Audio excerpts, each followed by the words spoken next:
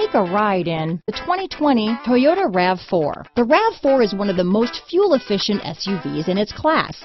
Versatile and efficient, RAV4 mixes the comfort and drivability of a sedan with the benefits of an SUV.